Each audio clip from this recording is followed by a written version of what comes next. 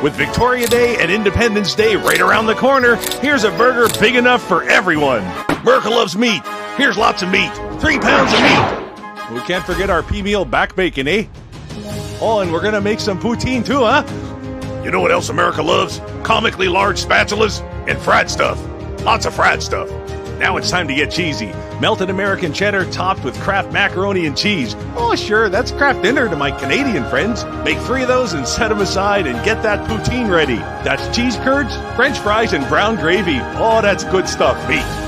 We need more meat. Fry up some bacon with pepper flakes, brown sugar, and Canadian maple syrup. Yum. And now let's bring it all together.